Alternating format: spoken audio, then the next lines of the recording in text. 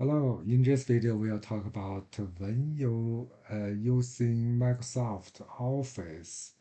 That's include PowerPoint, uh, Word, and Publish. When you click a YouTube link, you need to hit Control click. What happens is show the your browser is up to date, and you must browse YouTube. Click that to view the actual video. So before that, uh, when you click the link, uh, it shows the video directly. What happened?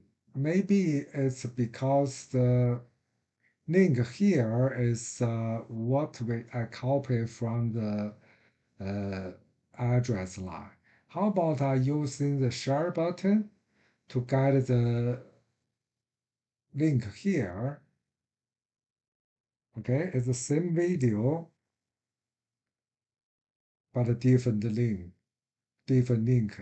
The first one is uh, .com, and the second one is youtu.be. Okay, see what happened here? Same thing. Okay, so to fix that problem, it's very easy. The format of the address, you need to change that.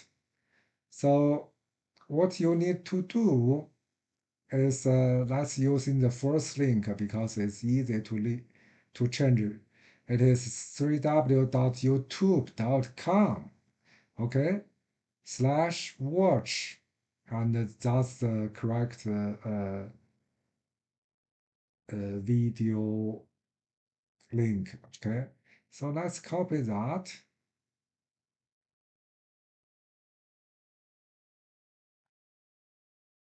And paste here. Then we using the right key.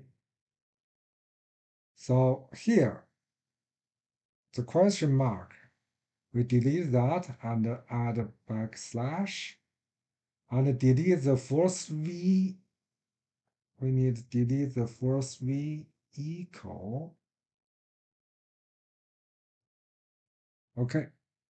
So we delete the question v equal, delete that and add backslash here.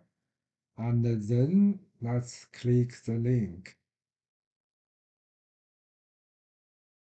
Oh, sorry, I, I, I also need to uh, delete the equal seven second. Okay.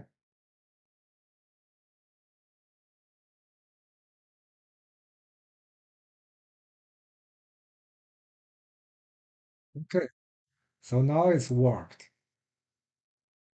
So hope you enjoyed this video. Have a nice day.